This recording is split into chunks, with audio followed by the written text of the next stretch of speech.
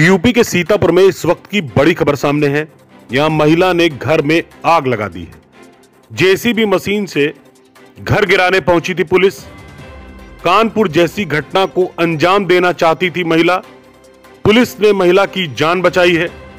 ग्राम समाज की ज़मीन पर महिला ने अवैध कब्जा किया था, जिसको गिराने के लिए पुलिस जेसीबी मशीन लेकर पहुँची थी, लेकिन महिला ने घर में ही आग लगा दी।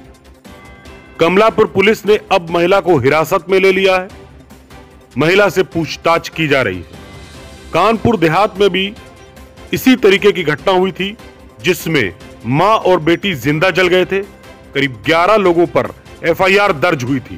ठीक उसी तरह कमलापुर में भी एक महिला ने खुद के घर में आग लगा ली। आग उस वक्त लगाई गई जब जेसीबी मशीन से पुलिस अवैध निर्माण गिराने के लिए पहुँची थी। तो सीतापुर की इस वक्त की बड़ी खबर आपके सामने है। स्टार न्यूज़ पर आप एक्सक्लूसिव तस्वीरें देख रहे हैं, जिसमें महिला ने अपने घर में आग लगाई है, जिसके बाद पुलिस ने महिला की जान बचाई है। सिदौली से गुरप्रीत सिंह और हिमांशु शुक्ला के साथ ब्यूरो रिपोर्ट स्टार न्यूज़